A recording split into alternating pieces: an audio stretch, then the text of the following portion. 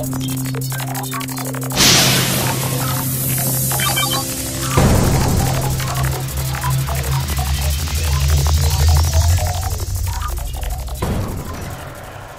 ดีครับ วันนี้ผมกลับมารีวิวนะครับ มาพบกับตัวนี้ครับ Acer จริงมีกล่องด้วย นี่เลยครับ Acer Iconia B1 นะครับ เป็นแท็บเล็ตขนาด 7 นิ้วนะครับ ต้องบอกว่าเป็นตัวที่ลงมาลุยตลาดล่างนะครับ ด้วยราคา 3,990 บาท จริงๆ Acer ก็สเปคเดี๋ยวดูสเปคก่อนละกัน อันนี้ปึ๊บสเปคไม่ได้แรงมากนะครับ ก็อาจจะมองไม่เห็นเห็นไหมเอ่ยอ่านี่ครับ ก็คือเป็น Android 4 จุด ตอนนี้น่าจะเป็น 4.1.2 นะครับ แล้วก็ชิปเซ็ตเป็น MediaTek 1.2 เป็น Dual Core นะครับตัวนี้ ก็มีเมมให้8กิกแต่แรมให้512นะครับและจอขนาด 7 นิ้ว ก็ความละเอียดก็ใช้ได้นะครับเป็น24คูณ600กล้องด้านหน้าอย่างเดียวนะครับ มี 0.3 สเปคก็คงไม่ได้แรงมากนะครับประมาณนี้ แบตเตอรี่ตัวนี้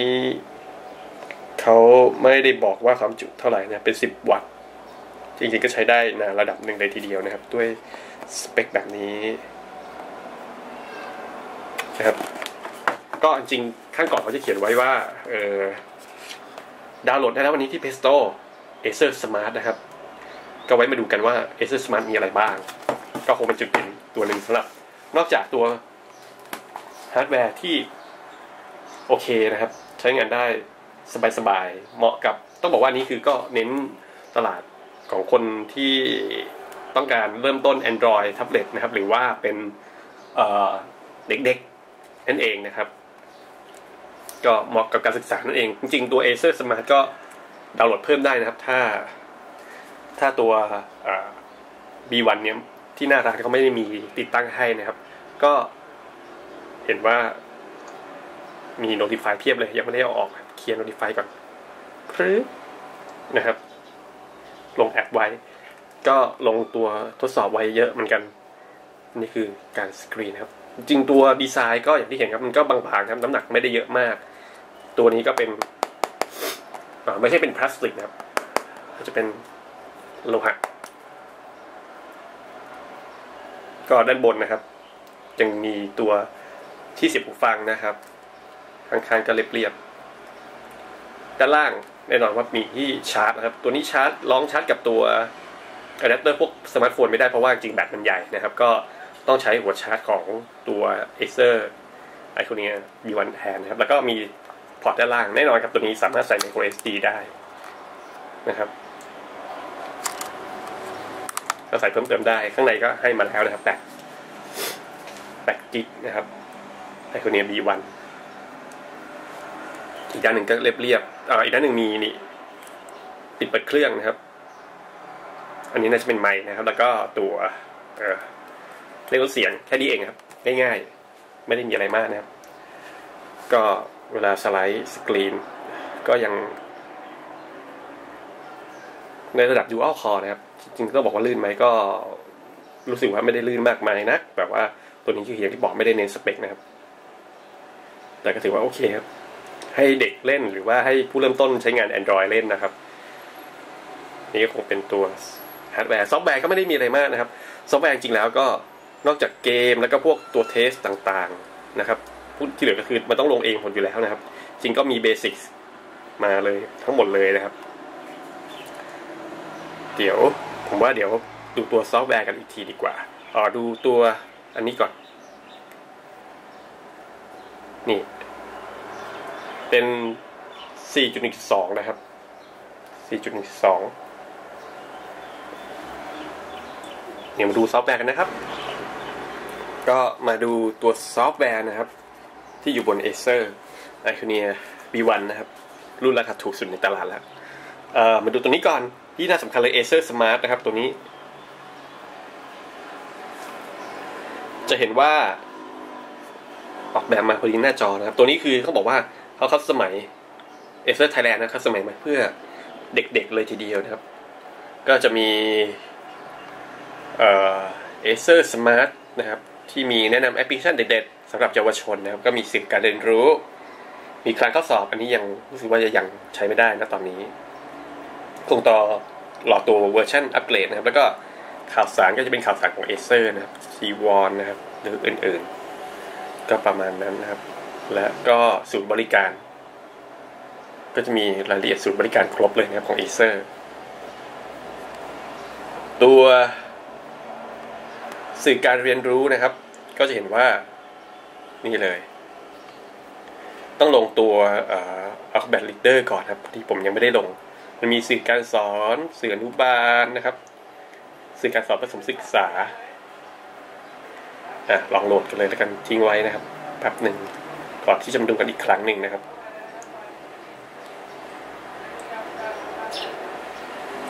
นะเดี๋ยวเราไปดูอันอื่นก่อนเข้าไปที่เมนูหลัก เข้ามาดูตัวนี้นะครับ แนะนำแอปพลิเคชันเพื่อเยาวชน มีอะไรบ้าง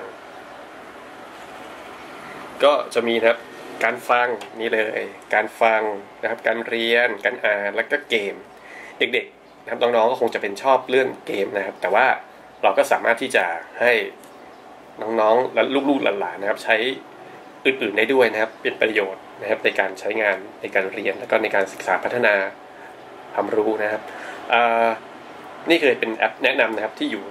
ด้านหน้านะครับ ก็จะมีรู้รอบตัวมีเกม อันนี้คือยังไม่ได้แบ่งหมวดเอาไว้แล้วมันก็จะรวมๆนะครับ ก็จะรวมๆอยู่ แต่ว่าเราจะมีสามารถแยกได้นะครับเขาแยกหมวดมาให้อันนี้ดีเลยทีเดียวนะครับ ก็หมวดการฟังนะครับ ก็จะมีอย่างเงี้ยสวดมนต์กันเธอมีภาษาไทยผสมกับขอคนะครับ นิทานสอนใจเป็นวิดีโอนี้น่าจะดีนะครับ เดี๋ยวเรามาลองตัวแอปพลิเคชันกันอีกหมวดหนึ่งกลับดูที่หมวดหมวดการเขียนเนี่ยการเขียนก็จะมีฝึกวาดนะครับกอไก่นะครับ นี่จะมีคัดลายมือด้วยนะครับบนแท็บเล็ตก็คงต้องหาเป็นพวกปากกาบนแท็บเล็ตเอานะครับ เพื่อที่จะคุ้นเคยและเขียนงานใช้เขียนได้จริงนะครับ นอกจากนิ้วจิ้ม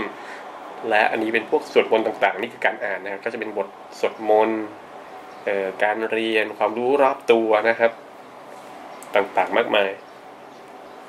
และเกมหมวดนี้ผมว่าคงไม่ต้องแนะนำละก็เยอะแยะมากมายเหมือนกันนะครับ อันนี้คือคัดกรองมาแล้วสำหรับเยาวชนจริงๆนะครับ ไม่มีเกมที่เป็นแบบว่าเลือดสาดหลุดออกมาเลย เท่าที่ผมดูจะเป็นเกมฝึกทักษะนะครับของเด็กๆ ก็ประมาณนี้เดี๋ยวคงไปลอง ตัวแอปที่โหลดมาก็แล้วกันนะครับ สื่อสารเรียนรู้เสร็จหรือยัง ลองดูหน้าที่พลเมืองเราต้องรอโหลดอีกนะครับ เดี๋ยวลองไปดูทีเดียวเลยกันนะครับ นี่เป็นการแนะนำคร่าวๆมาดูนะครับเรื่องตัวสื่อการสอน การเรียนรู้นิดนึงนะครับ ก็ตัวนี้อลองโรเตทไม่ไม่โรเตทนะครับไม่เป็นไร ก็จะใช้ได้เป็นแบบหน้าจอแนวตั้งนะครับ เท่านั้น ก็จะมีสื่อการสอนต่างๆนะครับสื่อการสอน Out System ก็จะลิงก์ไปที่เว็บนะครับเดี๋ยวผมลองดูไปที่เว็บนะครับ ก็อาจจะเป็นเว็บชื่อเว็บนี้ มันจะลิงก์มาที่เว็บนะครับ ก็จะมีรายละเอียดพวกสื่อการสอนต่างๆนะครับ ตารางออกอากาศอะไรอย่างนี้ก็คือสามารถเปิดดูได้ ในรายละเอียดนะครับ ก็คงจะเป็นรายละเอียดในส่วนของสื่อการสอนก็กลับไป ที่สื่อการสอนอื่นๆนะครับ อนุบาลมีอะไรบ้าง โล่งเฉียวนะแสดงของอนุบาลไม่มีนะครับสื่อการสอนผสมศึกษานะครับ จริงๆแล้วมีตรงด้านหน้าเนี่ยแหละ แต่ว่าอันนี้คือก็เป็นรวมๆก็จะมีเป็นการรวมๆเอาไว้นะครับ มีทั้งมปออันนี้คือมีปออย่างเดียวเนาะอ่ามีแต่ประถมนะครับ ก็เข้าไปที่นี่ได้ก็ได้นะครับ จริงๆก็คงมีเท่าที่ที่แสดงอยู่ที่ด้านหน้า แต่ว่าสามารถที่จะรอนะครับที่จะเพิ่มเติม เข้าใจว่าอนาคตคงจะมีสื่อการสอนต่างๆ เพิ่มขึ้นนะครับ หรือบทเรียนต่างๆ เพิ่มขึ้น อันนี้คือเดี๋ยวลองดูนี้อะเปิด เปิดดูแล้วกัน นี่ครับ ก็จะเป็นลักษณะนี้ จริงๆมันเป็น PDF ไฟล์นะครับก็ อ่าหนังสือนะครับจะเป็นหนังสือในลักษณะที่เวลาเรียนก็ เวลาจะอ่านก็ให้เด็กอ่านได้เลยนะก็เลื่อนไปทีละหน้า ซูมได้นะครับอะโคแบบ ก็ไม่แน่ใจว่าหลอกอยู่หรือเปล่า แต่คิดว่าน่าจะได้เฉพาะแค่ในโหมดแนวตั้งนะครับ ก็จะมีรายละเอียดอยู่ต่างอยู่ค่อนข้างครบเลยทีเดียวเนี่ยอย่างที่เห็นนะครับ มีรายละเอียดมีสารบัญนะครับ ก็ได้อ่า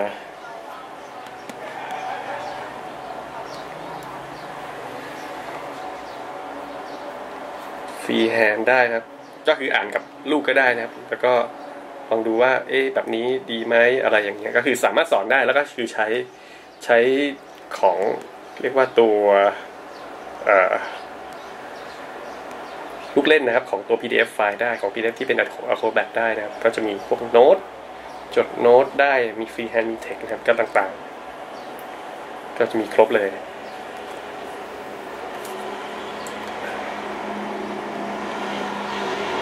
มีหน้าถึงโอ้จนจบนะครับ กี่หน้าเนี่ยแปดสิบหน้า หน้าสุดท้าย เนี่ยก็ประมาณนี้ครับ ก็คือเปิดดูบน PDF นั่นแหละอันนี้ก็จะมีคอมเมนต์กันนิดหนึ่งว่า เอ๊ะมีเป็นยังไงบ้างนะครับ ควรอ่านมากอ่า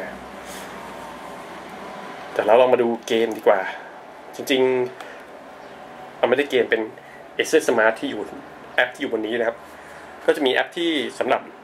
เรียนรู้ต่างๆนะผมก็ลองโหลดมาทดสอบดูนะครับบนอะพอดีไปอยู่บนหน้าจอมันอาจจะไม่ได้จัดกลุ่มอ่อยู่บนนี้นะครับ ลองดูเเขียนเก้าไก่าแล้วกัน อันนี้ของมหาลัยบูรพานะครับ ก็จะมีให้เลือกว่าเขียนอะไรบ้าง อ่ามีเขียนกอไก่จริงๆก็ถ้ามีเป็นไปได้มีดินสอก็จะดีแต่อะไรนี้ผมต้องบอกว่า ไม่ดีอย่างมากครับ นี่ขนาดเขียนตามไอ้นี่นะเนี่ย ขอขวดนะครับอ่าประมาณนี้ก็มีเสียงขอขวดของเราอ่ามีแอนิเมชันมานะครับว่าคนเขียนเขียนยังไง อ่าตอน ที่เราที่ผมเขียนไปตะกี้นี้อะมีให้เลือกคัดลายมือว่าเป็นอันไหนด้วยนะครับ ก็จะเป็นง่ายๆก็คือคัดลายมือนะครับ มีให้เลือกคัดเลขสูงเลขศูนย์ได้ หรือจะเป็นอันนี้คัดลายมือ อันนี้น่าจะเป็นตัวรูปวาดเป็นตัวนี้นะครับ เอ๊ะวาดยังไงต่อ แบนี่ครับ มี 25 สเต็ป แล้วผมจะวาดเป็นไหมเนี่ยสองสามวาดอย่างนี้นะครับห้าหก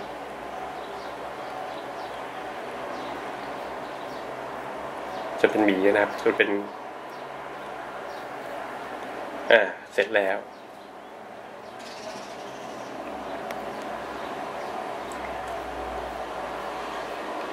นี้เข้าไปที่ Natural Energy น่าจะเป็นเว็บไซต์ที่อ๋อผมเป็นดาวน์โดนตรงด้านล่างนะครับ โอเคก็จะเป็นใส่ฟันนะครับอ่าเรียบร้อยนะครับ เป็นตัวนี้เสร็จหรือว่าใช้บุ่มแบ็กก็ได้ใช่ไหมอะไปนะครับ ก็จะเป็นขั้นตอน 25 ขั้นตอนในการวาดนะครับ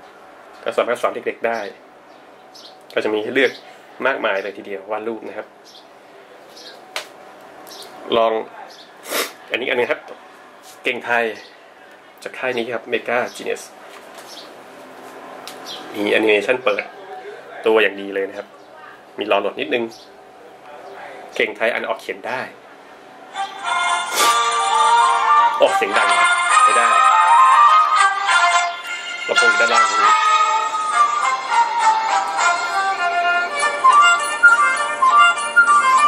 มีหลายอย่างนะให้เล่นนะครับ มีเกมฝึกทักษะโอ้โหคล้ายแองกี้เบิร์ดเลยนะครับกอไก่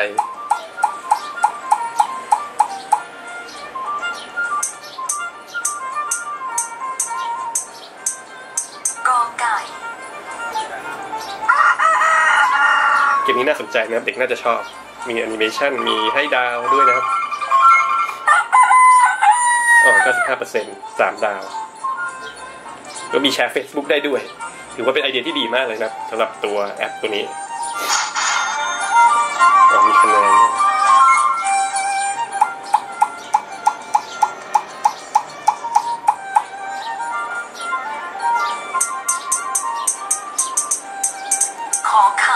ดูจะได้กี่เซนนะครับ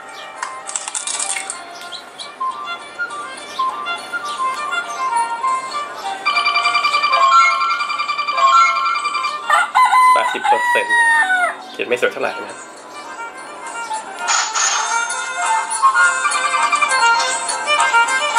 เป็นไอเดียที่ดีนะครับแล้วก็มีอันล็อกด่านได้ด้วยครับ ไปเรื่อยๆเพลงไทย เสียงก็ดังเป็นแอนิเมชันมีฝึกฝนนะครับ มีท่องจก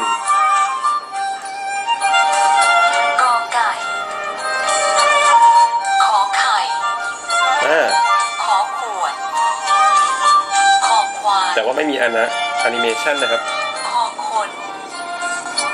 ขอระฆังงองูปิดเสียงด้านบนได้นะครับ จอจานชอชิง ก็จะเป็นจนถึงฮอนกฮูกตาโตฮอนกฮูกนะครับ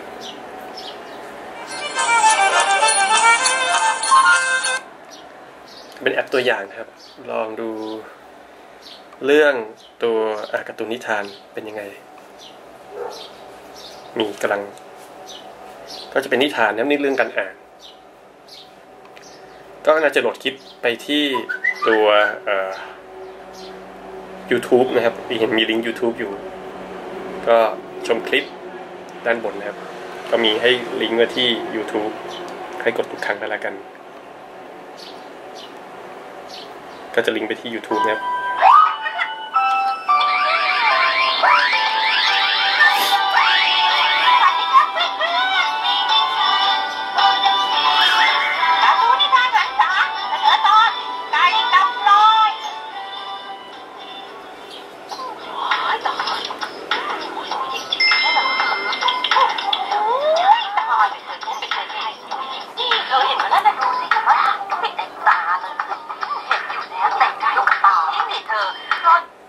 นี้ก็ต้องบอกนิดนึงว่าต้องใช้บนที่ต่อ Wi-Fi นะครับ เพราะว่าตัวนี้คือเป็นรองรับแค่ Wi-Fi เท่านั้น ก็จะมีเรื่องราวมากมายนะครับ มีเรื่องต่างๆ มากมายให้เลือกนะครับ แล้วก็จะมีผู้อัพโหลดด้วยนะครับ ก็จะเป็นพระนะครับ เป็นผู้อัพโหลดนะครับ การ์ตูนนิทานก็ดีมากนะสำหรับเด็ก หรือ ฝึกนับเลขแต่อันนี้คือแสดงผลอาจจะไม่หกเจ็ดแสดงผลได้ไม่ไม่เต็มนะเพราะว่าหน้าจอใหญ่นะครับแต่ว่าได้เท่านี้เก้าสิบอีกมากค่ะลองใหม่นะคะอีก มากค่ะ ก็ประมาณนี้ครับ ตัวนี้มันอาจจะแสดงได้ไม่เต็มนะครับ เพราะการอ่านกันก็คือธรรมะธรรมะธรรมะนะครับ อันนี้ เป็นดิกธรรมะดิกชันนารีอ่า ผมจะรู้ไหมเนี่ยอ๋อกัลยาณมิตร อ่า จะมีขึ้นมานะครับ พิมพ์ว่าอัมพการ ก็โอเค เป็น ดิกชันนารีสำหรับธรรมะนะครับพจนานุกรมเอ่อน่าจะเป็นอัสถาลคิดไทยลองดูอะลองที่ภาษาพอดียังไม่เคยนะครับอะบวกแล้วกันแล้วแบบง่ายอ่า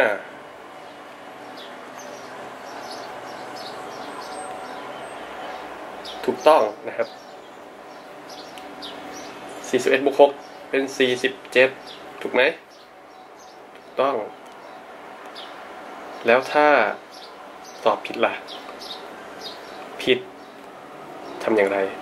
อาเฉลย40นะครับ อันนี้ก็ไม่ได้มีเอฟเฟกต์หรือมีอะไรมากมายนะก็จะเป็นแบบนะครับ ที่ช่วยให้เราเรามีภาษาอังกฤษนะครับฮึบอ้าวแต่ไม่ไปซะอย่างนั้นเอาไปละก็มีดีเลย์นิดนึงมาหายไปไหนละฮึบ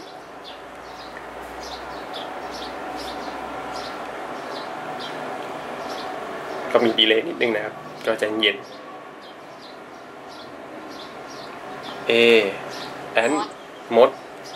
ant ant ant ant ant มด